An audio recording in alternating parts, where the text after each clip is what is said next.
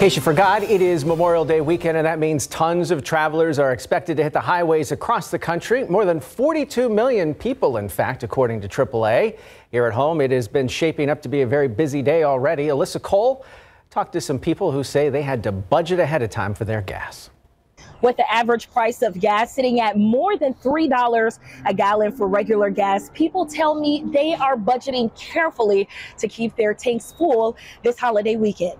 I just put 10 in right now, um, and it's literally go to and from. We're not even making any extra stops. This mom and daughter duo are making a short distance trip for New Braunfels to San Antonio.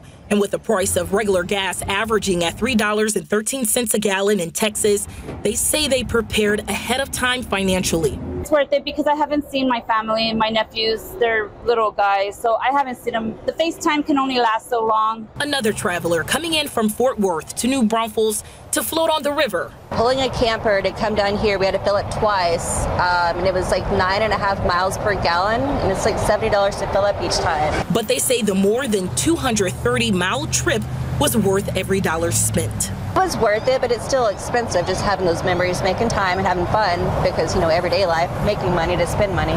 And the anticipated busiest travel time for the remainder of the holiday break is Monday afternoon as people prepare to make their way back home. Reporting in New Braunfels, Alyssa Cole, KSAT 12 News. And speaking of traveling, on Friday, the TSA hit its highest volume of traveler in years as millions of them took to the skies for Memorial Day weekend. The agency tweeted this morning that more than 2.7 million passengers were screened at airports on Friday. On Thursday, they screened 2.6 million. This is the highest number of flyers since Thanksgiving of 2019, and they're expecting even more. The TSA predicts over 10 million people will travel over the holiday weekend. And if you're traveling out there this evening in and around the San Antonio area, no big issues expected. Look outside with live cam, though, shows that it's a little bit more cloudy out there this hour. Earlier this morning, we did manage to find a little bit of sunshine but we have seen a few more clouds work their way into the south central Texas sky here this evening. As we head into our Sunday, a few isolated showers to a stray rumble possible. We're going to increase that rain and storm chance slightly on Memorial Day itself few scattered storms are expected. It's not going to be for everybody each day, so don't cancel your plans. Temperatures also below average. We'll get you a full look at that futurecast and what we can expect in the days ahead after the break. It is the unofficial start to summer this weekend, but not feeling any crazy summer like temperatures, thankfully. No, exactly. I feel like we're lucking out this year. Last year was a little bit Yes. intense. It was All... hot as a firecracker already. okay, a little, Memorial Day weekend. A little hot out there. Yeah, I remember how hot it was here in Texas last year. The good news is, temperature-wise, heading into Memorial Day this year, yes, below average temperatures are still expected, and that's what we found out there today, especially because we saw some of the cloud cover work back in. Highs topped off only in the mid 80s here in San Antonio. Our average high is 89 for this time of year. Check out your Sunday. So any back half of the weekend plans, we're still going to start off in the upper 60s here in San Antonio. We're near 80 already by lunchtime and into the afternoon, still mid 80s expected. And while it's not going to be for everybody, we've got about a 30% potential for most of the day to find a few isolated showers, a couple rumbles of thunder before the day is done. And then we're going to slightly increase that rain chance as we head into Memorial Day on Monday. And most of us have been pretty dry today. There's a strong storm well north of our area that's approaching the Austin area and the I-35 corridor. Here in San Antonio, don't have a whole lot going on, but just up to the north in Kendall County, stretching over into eastern Kerr County, maybe a few sprinkles there near Sisterdale, and then stretching over closer to the Comfort area along I-10. And then farther off to the west across northern Val Verde County over the past hour, hour and a half, we've seen a few very light showers work their way through closer to Pandale and Juno. A lot of that, though, has fizzled out and is struggling to hold together. Here's the bigger picture, though, across the Lone Star State. Another cluster of rain just to the east of the Lubbock area, north of San Angelo. But check out far western Texas and even the eastern portions of New Mexico. Severe thunderstorm watches in place out that way. Four, you can see a disturbance is already sparking a cluster of rain and thunderstorms. Off the bat, we're not really expecting expecting severe weather here in our neck of the woods over the next couple of days, maybe an isolated strong storm further out west here into our Sunday and Monday, but no organized complex of severe weather. So that is the good news.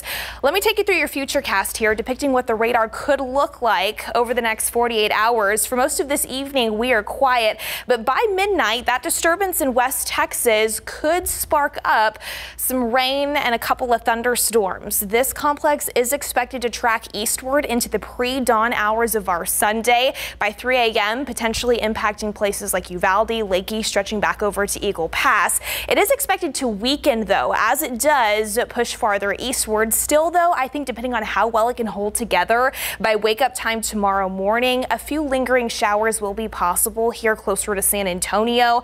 And then after that, just isolated activity could pop up and fall down throughout the remainder of the day into the evening hours as well. And then as we head into our Monday on Memorial Day, we're going to see an area of low pressure swing across the Lone Star State. So we're going to bump up the potential to find some scattered hit or miss rain and storms to about a 40 to 50 percent potential. It's not going to be for everybody. It's not going to be a washout of a day. But if you have any outdoor plans, probably a good idea to at least have a plan B in place should you briefly need to move those inside. So we'll definitely continue to keep eyes on that here over the next 48 hours. Temperature wise, tomorrow and into Monday mornings, we'll start off in the upper 60s, mid 80s for your Sunday afternoon, and low 80s on Monday. So, yes, a little bit below where we should be for this time of year. 20% chance for a few lingering showers continues into Tuesday. And then after that, for the most part, we're going to dry things out again by the middle to later portions of next week. Some more sunshine returning, helping those temperatures crank back up into the upper 80s and near 90, guys. We deserve it, don't we, Tim? Yes, this is a nice stretch. I'm not saying anything. We're just going to. don't jinx it. Don't jinx it. Stop. Good vibes, good vibes all the way. All right, Andrew's here with some good vibes. Tell us about Boerne, uh, Champion baseball moving on. That is absolutely right. Boerne Champion dropped game one on Thursday. They rallied to win yesterday 3 to 2, and today in game three, they brought out the bats early. When we come back, we'll break down their huge game three win. Plus, Dak and McCarthy are talking a lot more these days. What does Prescott have to say about the relationship? Next.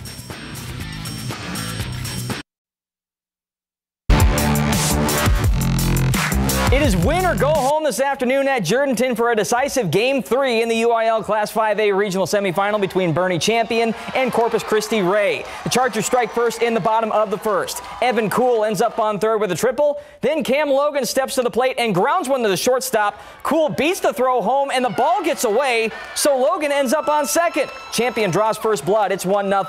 Texans trying to answer in the top of the second with two on, but Sam Miller scoops up a grounder, steps on third, and fires to first for an inning-ending double play. Champion holds on to that 1-0 lead until the bottom of the fourth. Gage Goldberg drops the first pitch he sees into left center. Jared Wingo rounds third, stays on his feet, and slides in safe. That makes it 2-0 champion. The inning continues. Few batters later, Nick Cortez hammers one to the gap in left. That'll play another two runners, capping a three-run inning. Champion goes on to win it 6 to 2. They rally to win both of the final two games of this series and advance to the regional final. To get the first run on the board, it was the most important thing in the game. We had to get up at the start and just keep on putting them on. It shows we have um, we have confidence that we can come back. We can win any game we want.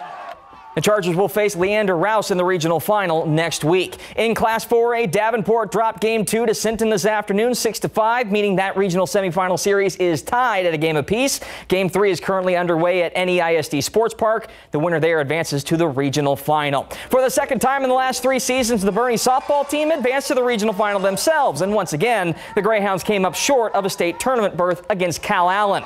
Last night in a one game Class 4A regional final playoff, Boerne fell behind the Wild Wildcats 4 to nothing in the bottom of the third, thanks to a pair of homers before finally getting on the board in the top of the fourth. But they just couldn't keep pace in an 8 to 1 loss. Still, head coach Chester Pettibon is proud of his team and especially his senior class for all they have accomplished. This is not the end, it is the beginning to the next part of your life. Okay, and that you're not going to win everything in life. You're going to you're going to move on and you're going to uh, fight and win. Some days you're going to win and some days you're going to lose, but you got to go on and you got to keep fighting the good fight. That's what we tell them. Boerne ends their season with a 29 10 overall record. Our Lady of the Lake's first appearance in the NAIA Softball World Series ended this afternoon without a win. Saints dropped game one against Marian University yesterday 6 3 and then bowed out of the tournament this afternoon with a 6 5 loss to Midland. Olu finishes their incredible season with a 51 8 overall record. In the majors, the Texas Rangers passed a huge early season test with a statement victory over one of the best teams in the American League last night. Facing the Orioles in Baltimore, the Rangers scored eight runs in the top of the fourth, including a grand slam from Corey Seager that gave them a commanding 10 1 lead. They would go on to win the game 12 2. Manager Bruce Bochy was thrilled with his guys' approach at the plate, especially in that eight run frame. I tell you, I I've seen some good innings, but that, that was really impressive. I mean, Rodriguez was throwing so well. He, he's got 99 out there, and these guys just threw out some really good at bats. Uh, but really, uh, I was impressed with the back end of our order. Those guys did such a good job. Leody, he got us on board uh, with that two-run homer. Smitty had three hits tonight. Uh, Robbie had a good night, um, and Sandy had a big hit to keep it going. So it's good to get that uh, production throughout the order. Game two of their three game series is currently underway. We'll have those highlights for you tonight on the Night Beat. This time last week, San Antonio FC looked like they were the best team in the league after knocking off Charleston Battery 7 0. Then they lost in stunning fashion to Detroit City FC 1 0, the worst team by record in the Eastern Conference. Now the Alamo City Club returns to Toyota Field for a three game homestand, once again looking for answers. And it's going to be tough against New Mexico United, who comes into San Antonio riding a two match winning streak. You know, they're one of those teams, it's, it's never easy playing against them. They got talent as well, they, they work hard, um, credit to them. They're always one of those teams that uh, can get a result at any moment. So for us, it's not taking it lightly and really knowing that we're going to have to be at the, our A game if we're going to walk away with three points. Kickoff against New Mexico is scheduled for 7:30 p.m. tonight at Toyota Field. Pro football coverage powered by Davis Law Firm. The Cowboys are roughly a third of the way into their optional organized team activity schedule, and they're in the midst of a four-day break. Dallas's offense got a huge boost from the addition of wide receiver Brandin Cooks in free agency, pairing him alongside number one wideout CeeDee Lamb and Michael Gallup, who's fully healthy this offseason for the first time in a while. But Kellen Moore is no longer offensive coordinator.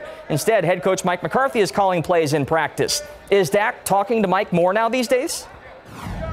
Yeah, a ton. I mean, just in the simple fact that he's the play caller now. So right. just being able to understand and being in the same same wavelength and understanding why he's calling the play, what's the purpose of that play, and what he expects out of that, and just making sure that we're on the same accord there. And it has to be that constant communication. As we just said, as he just broke, and we said, you know what, go go look at everything we put in, make sure that we're, we're running the things that, that you like and the things that we're good at. And if it's something that, right, you're just a little iffy about, let's get it out. Let's master what we're great at. So just having that clear communication and being able to work with him day in and day out, as I said, it's new, it's refreshing, and uh, it's fun for both of us. You find yourself calling him at night or just no, no, no, no, nah, I'm good on that one. I see him. I see him enough. Dallas returns to practice for offseason workouts on May 30th, and their three-day mandatory minicamp begins on June 6th. Texans quarterback C.J. Stroud might be taking reps with the second team in practice, but he's still been impressing the vets. Has anything about Stroud's performance stood out to new head coach DeMeco Ryans? CJ's been the same from the pre-draft process to now. Hard worker, very intelligent guy. He's a, and a true competitor. So he's been the exact same guy. Nothing has changed. Just excited to see him out on the field working with his teammates. Uh, CJ has been doing an excellent job these past couple days. I guess that has something to do with his Ohio State education. I'm not sure. Very smart there, they are. Thanks, Andrew. You're welcome. All right. I'm wearing the wrong colors today, though. Compliments between the two of you. Something's weird. We'll be it's right okay back. in May. You can a few generally isolated showers and storms will be possible at times tomorrow. Then we're slightly going to increase that coverage on Monday before those rain chances come down a bit going forward next week. Again, don't cancel your plans for Memorial Day, but have that indoor Plan B backup option. Of course, latest updates throughout the weekend can be found on your KSAT Weather Authority app, guys. Wouldn't be Memorial Day without a few showers around here. No. That's all of our time. Thanks for watching. We'll see you back here tonight on the Night Beat after the game. Have a good evening.